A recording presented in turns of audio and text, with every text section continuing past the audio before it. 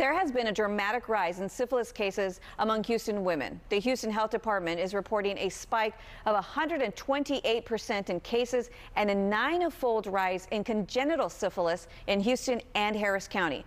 To help us understand the complications to not only the women, but their babies as well, we have Rubina Joseph. She is a primary care and infectious specialist disease specialist physician at Legacy Community Health. Thank you so much for joining us today. Thank you for having me. This is such an important topic because syphilis is so easily treated. So first let's start off with understanding and explaining to us what syphilis is and what it looks like. Sure, syphilis is, um, is an infectious disease. It's a, it's a bacterial infection that's transmitted primarily through sex, and there are many stages to the disease, but it usually starts off as a painless sore, and then, and then it progresses to later stages if left untreated, and is very easily treated, like you said. So as an infectious disease specialist, what do you think is giving rise to this dramatic spike?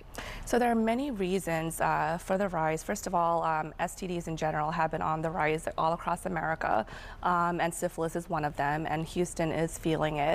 And the specific rise you're talking about is in uh, women and uh, in congenital uh, syphilis also. Like you said, 128% increase uh, for women and about a ninefold increase in congenital syphilis.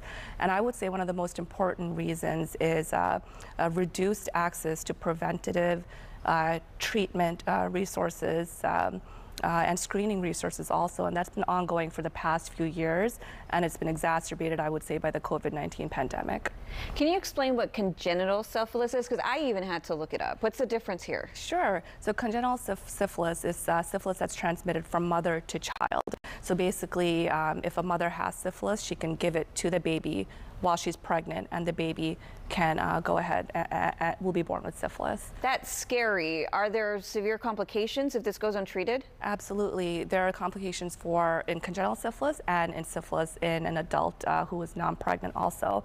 So in uh, a non-pregnant person, um, if left untreated, it can progress to later forms which can affect your brain, your heart, your bones, and can lead to death eventually. And that can be anywhere from a few years to many years uh, without treatment. And in congenital syphilis, yes, it can cause a lot of congenital abnormalities. The baby can be born with abnormalities and eventually death also. So besides pregnant women, who else should be tested for syphilis? So anyone who has had unprotected sex, uh, had sex with anonymous partners, multiple partners, um, anyone uh, uh, who, who's basically at, at, risk for contracting any STDs. So if you have a suspicion, then you should go and get uh, tested.